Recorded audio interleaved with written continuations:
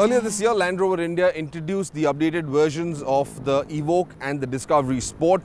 We tested the cars earlier, but uh, we finally got our hands on it after the lockdown, after four, five months nearly. We finally got our hands on the Discovery Sport to bring you this video story. The three critical changes in the new Discovery Sport. The first is, of course, the upgradation to the BS6 engines. Currently, the Discovery Sport is available with only the diesel. The petrols will follow in some time. It's also built on the new Premium Transverse Architecture, PTA. This is an entirely new platform that is built uh, for hybrids and uh, certain electric cars, of course. And the Discovery, of course, with the petrol, there is a variant for the hybrid as well. We're not entirely sure if that will come down to India because that's a plug-in hybrid. And then third, there's of course the cosmetic changes that have been applied to the exteriors and the interiors and a host of features that add a tremendous amount of value to the new Discovery Sport. So what's the car to drive like? What does it perform like? Well, we've got all the dope on the Discovery Sport for you.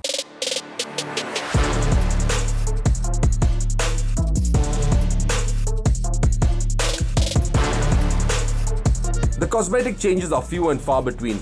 Minor tweaks to the headlight graphic, the grille and the bumper make it moderately fresh. Not that you'd remember much of what the older Disco Sport looked like to know how different this new one is. The Discovery Sport is a 5 plus 2 seater which amounts to 7 seats or 3 rows. Now to access that third row, you have to open the boot and unfold the seats which sit in the floorboard like so and then move to the rear passenger door. Unfold the middle row and get in. Now this space is ideal for kids or teenagers. As you can see there's not much uh, knee room. However this middle row can be adjusted for length so you can take this forward or move it backwards depending on how much space you want uh, for the rear uh, for this third row passenger nonetheless it's not the most comfortable position to be seated in.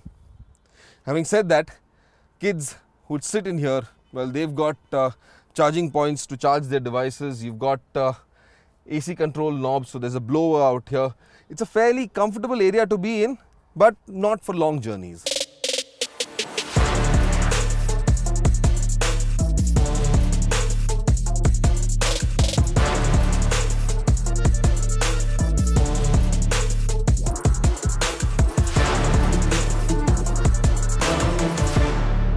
I like the look of the dashboard out here. Very neatly executed. All the functions are quite smartly arranged. It's a very minimalistic dashboard. Most of the controls are right here on the center console. But if you look at it closely, it's a very neatly executed finish. That new touchscreen allows you control over a variety of functions, but it's also got connected technology, connected to a certain extent alone. This is not the full gamut of connected tech as of yet, but you've also got uh, Apple CarPlay and Android Auto, which work far better than most uh, connected technologies as we know it. What I like most of all is the terrain selector mode. You've got a single button on the center console, which when pressed converts the temperature control dial into the terrain selector. That's pretty fancy.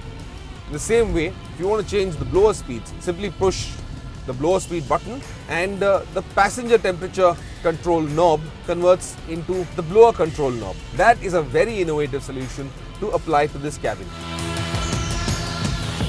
I also do like uh, the rear view mirror. A simple press of the button converts it into a camera. That's a widescreen display, a high resolution widescreen display. So everything is clearly visible and much, much better than what you can see in just the mirror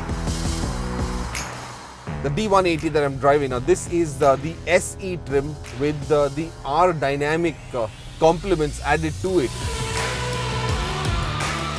But those are all cosmetic uh, applications.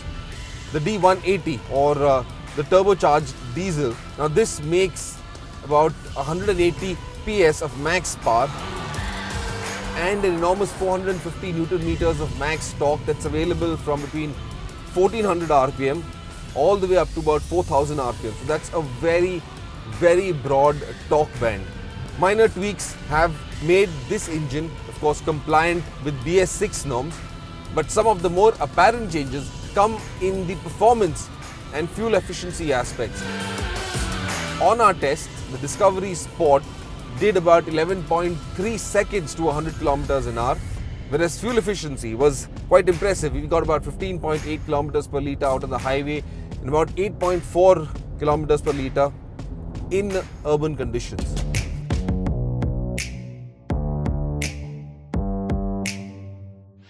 This 2 litre engine is mated to a 9 speed automatic transmission, which is a bit lazy. To get the best out of that transmission, you should ideally slot it into sport mode or, of course, use it uh, as a manual, shift up or down the gears. Another big change, of course, is that uh, the transmission lever, well, it's no longer that uh, pop out of the center console knob. This is now a regular shift lever that you've got uh, in place and that very conveniently allows you to either use uh, the stick to shift up or down or you've got paddle shifts behind the steering wheel that will allow you to do the same.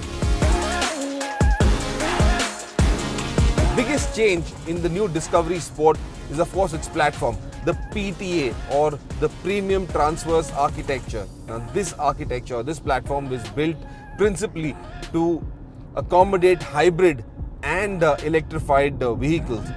So that allows the battery pack to sit in the floorboard without affecting the in-cabin space.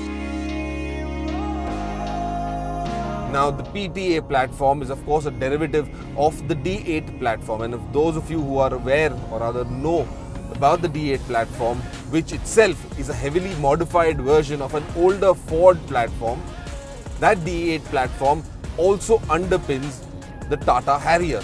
Now, with further modifications, of course, it has become the PTA and this is utilized in the Discovery Sport. Now, there are several gains because of this architecture, a lot of which are applied to the hybrid. Now, the hybrid is not coming down to India anytime soon.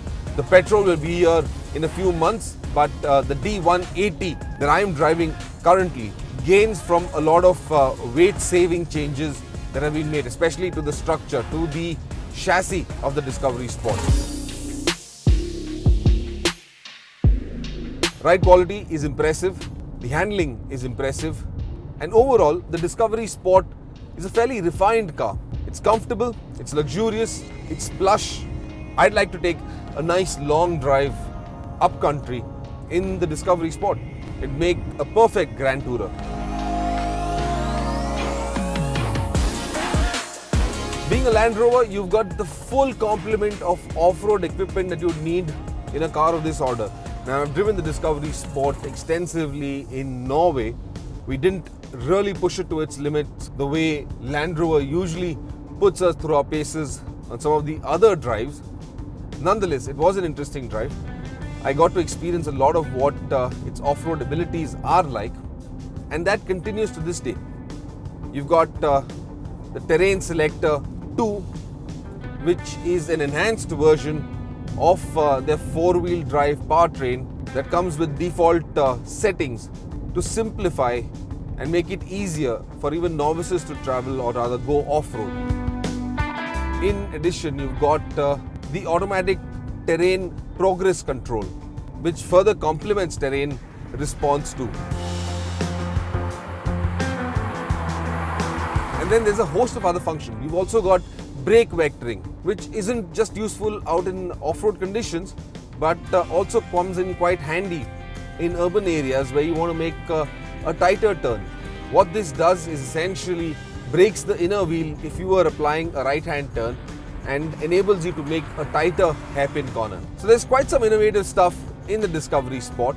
The luxury quotient is quite high, it's comfortable, it's got great ride quality. The D180, the 2 litre diesel, is a competent engine. You get good efficiency, decent performance out of it. The transmission may be a bit lazy, but getting it into sport mode takes out all that laziness, wakes up this engine. It definitely is a good Grand Tourer. Land Rover has also priced this smartly, beginning at about 54 lakhs, going all the way up to about 60, 61 lakhs for the top of the line variant with the all the trimmings that you can get in it. Overall, well, I'm looking forward to a nice long journey someday in the Discovery Sport.